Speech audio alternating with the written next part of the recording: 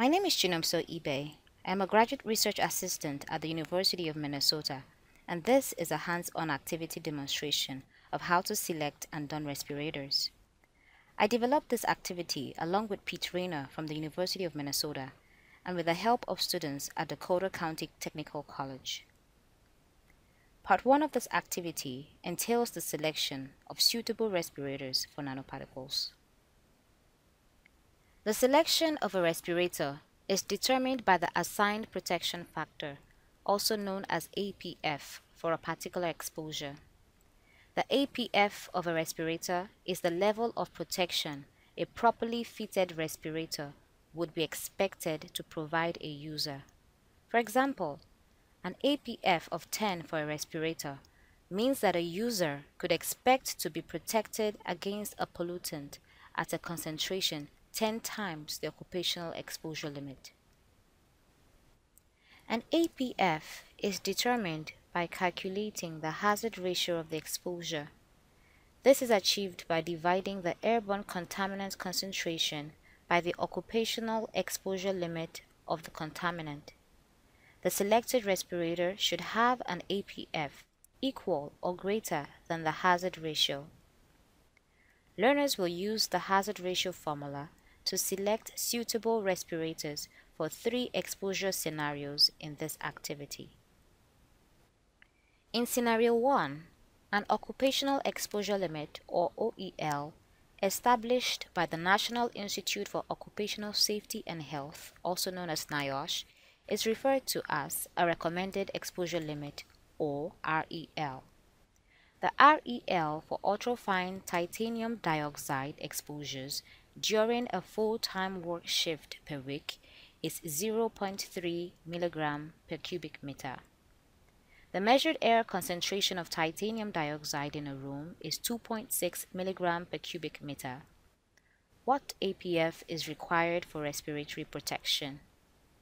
What type of respirator is suitable to protect against this exposure? To determine the hazard ratio for this exposure, Divide the measured airborne particle concentration for titanium dioxide by its OEL, in this case, the REL for titanium dioxide. Thus, 2.6 mg per cubic meter divided by 0.3 mg per cubic meter gives us a hazard ratio value of 8.7. Learners should choose an APF equal or greater than 8.7. Therefore, the minimum APF for this exposure is 10. Using the illustrations provided, a suitable respirator against the particulate exposure of titanium dioxide is the filtering facepiece respirator. In scenario 2, an OEL established by the American Conference of Governmental Industrial Hygienists, also known as ACGIH, is referred to as a threshold limit value or TLV. In the production of silver selenide nanopowder in a laboratory, hydrogen selenide gas is used as a precursor. The TLV for hydrogen selenide is 0.05 parts per million. The concentration of hydrogen selenide in the laboratory room is measured at 0.34 parts per million. What APF is required for respiratory protection? What type of respirator is suitable to protect against this exposure. Similarly, in this scenario, learners should divide the concentration for hydrogen selenide gas in the room by the given TLV for hydrogen selenide. Thus, the hazard ratio equals 0.34 parts per million divided by 0.05 parts per million, and the answer is 6.8. For a hazard ratio of 6.8, the minimum APF of 10 should be chosen.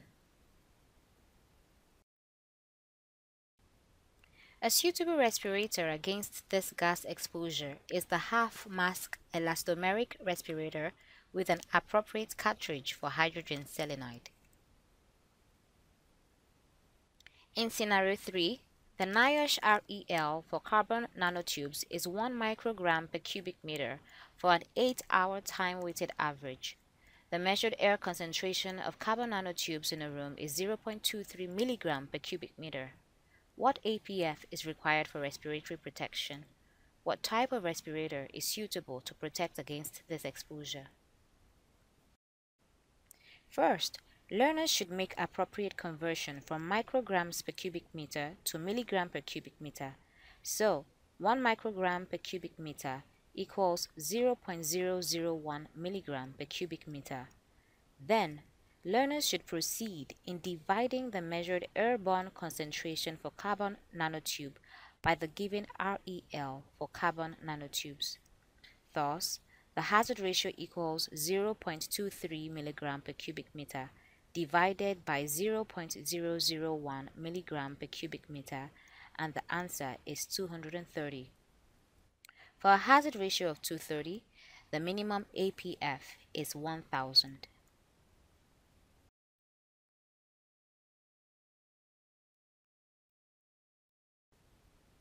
A suitable respirator against this exposure is the full face piece supplied air respirator with an auxiliary escape bottle. In the second part of this activity, learners are asked to don and check the fit of a filtering facepiece respirator. Learners will need a hand sanitizer, which can be bought at local grocery stores and an N95 disposable filtering facepiece respirator which can be found online in various sizes. An N95 respirator provides protection against particulates and will remove 95% of particles in the air that is breathed. Learners should cleanse their hands with the hand sanitizer before handling a filtering facepiece respirator to reduce transfer of contaminants to the face and the respirator.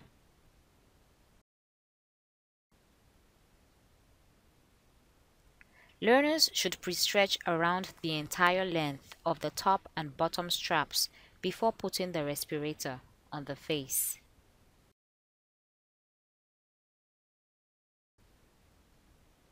Next, cup the respirator in the hand with the nose piece at the fingertips, allowing the straps to hang freely below the hand. Place the respirator firmly over the nose, mouth, and under the chin.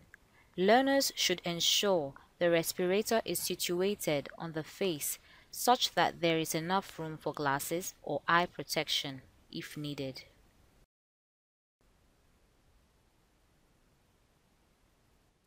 Take the bottom straps, stretching and positioning it around the neck and under the ears. Also, stretch and position the top strap at the crown of the head. Readjust the straps if they are overly twisted or if the straps are too tight.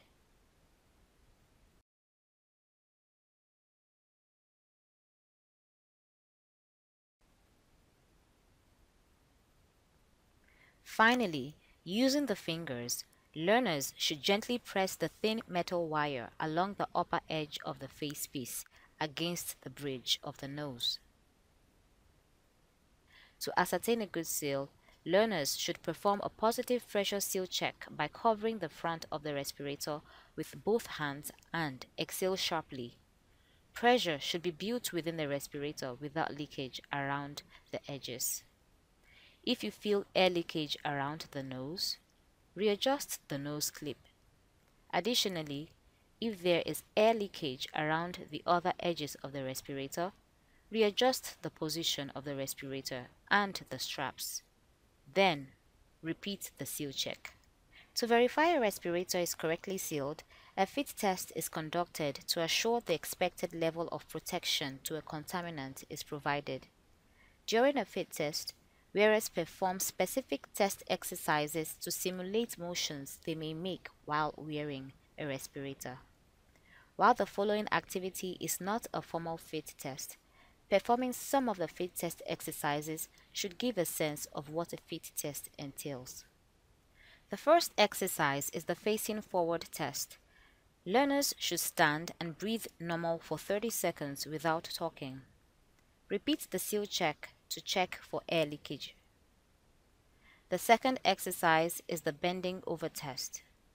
Learners should repeatedly bend at the waist as if trying to touch toes with fingers for 30 seconds. Repeat the seal check after the second exercise. The third exercise is a talking exercise. Learners should recite the passage referred to as the Rainbow Passage. Perform a seal check at the end of the third exercise. When removing or doffing the respirator, learners should not touch the outer surface of the face piece. Instead, slowly lift the bottom strap from around the neck and over your head. Then, lift the top strap and carefully remove the respirator. Learners should perform hand hygiene after storage or disposal of the respirator. I hope this video has helped you understand how to select and don a filtering facepiece respirator. Thank you for watching. This lesson has been created by the Midwest Emerging Technologies Public Health and Safety Training Program, also known as METPHAST, which is a collaboration between the University of Minnesota School of Public Health, the University of Iowa College of Public Health, and Dakota County Technical College. The content of this lesson is solely the responsibility of the developers and does not necessarily represent the official views of the National Institutes of Health.